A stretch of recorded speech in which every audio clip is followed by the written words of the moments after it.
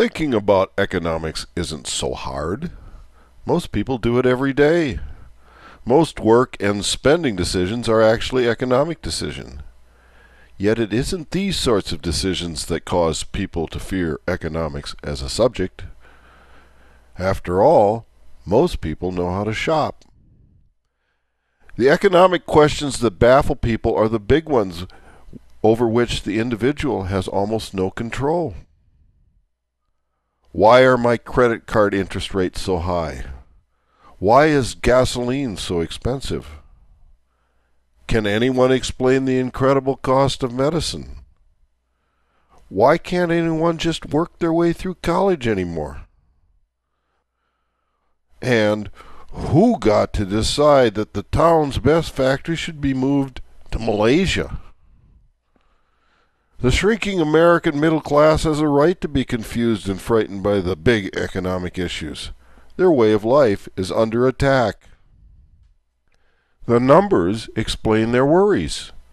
In 1970, a person could attend a typical state university for $1,500 a year.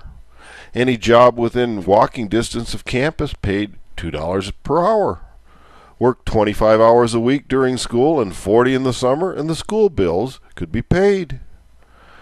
Now school costs at least $12,000 a year. Campus jobs pay more, but rarely as much as $7 an hour. So a student working just as diligently as someone 35 years earlier cannot pay the fees and must instead incur huge amounts of debt. In 1970, a three bedroom suburban style house cost $20,000. Mortgage rates were 5%. House payments averaged less than 25% of an average income. Down payments were rarely more than $1,000. Now such a house costs at least $200,000. House payments eat up at least 40% of a two income household. And don't even think about getting sick. In 1970, the average hospital stay was six days and cost $1,200. Now the average stay is three days at a whopping cost of $18,000. Since 1970, real average wages have climbed by 150%. Medical costs are up 1,500%. Of course, some things have become cheaper since 1970. Exhibit A is any electronic device. But while computers and iPods and digital cameras are really fine things to have, they are but economic trinkets compared to the major expenses that define who you can become, how you are sheltered from the elements, and whether you have care when sick. All the average guy really knows about the big economic questions is that it used to be easier to prosper. Of course, such an observation is incredibly important. If a person knows that it was once easier to get on with life, that person implicitly understands that not so long ago the economy was better organized and that somehow what was once working is not working any longer.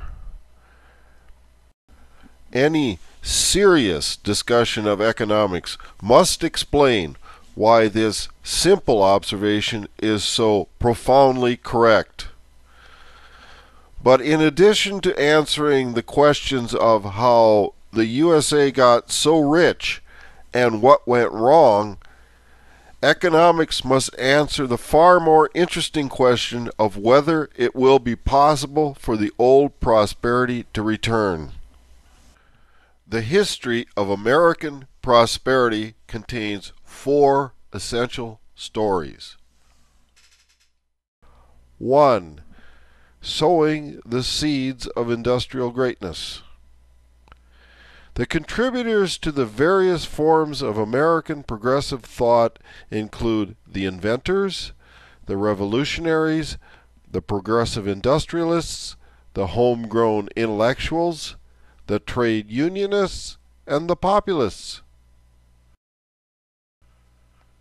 2. The Greatest Generation Economics Division. The organizing principles of the New Deal included public industrial cooperation and an expansionist monetary policy. Economic thinkers of the era developed the mixed economy, which produced the greatest generalized prosperity in history. We live in a world created by people who believed that markets did not work well unless carefully regulated. They were correct.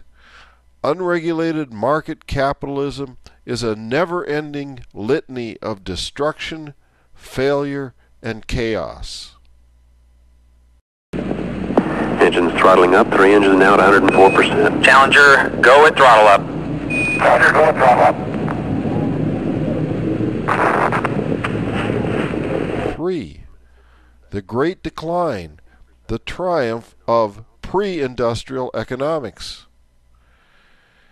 It is time to examine the dangers of operating an industrial infrastructure with a minimum maintenance strategy and examine the human cost and ruined potential that is the inevitable outcome of the free market economics of decline.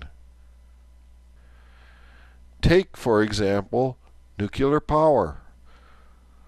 Only an economic organization of state subsidies, government funded academic research, and cost plus defense contracts would have produced something so difficult and complicated.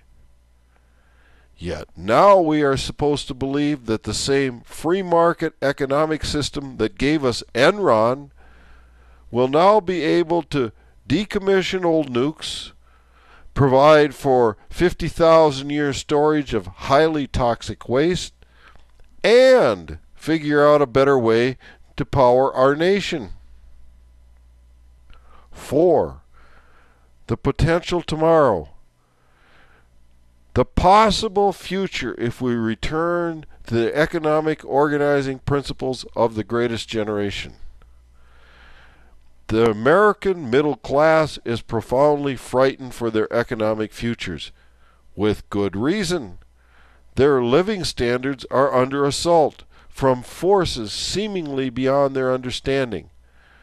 Without a fundamental change of economic direction, they have no future. Creating prosperity is the known economic strategy for addressing real human problems. Learning these ideas can reassure the middle class that those large economic forces that so frighten them are both understandable and within their power to change and control. Climate change the end of the age of petroleum, etc., are problems that will only get worse if not promptly addressed. And there is always a need for more good jobs. If the current economic thinking cannot provide a method to solve unemployment while also solving these critical problems, and it is clear it cannot, then the time has come for citizens to demand something that works better. And only a technologically literate economic system will be able to do this. And history has demonstrated that absolutely nothing works better than a mixed economy where the behavior of the largest players is strictly regulated. Creating prosperity is a message of hope. It is a call to action.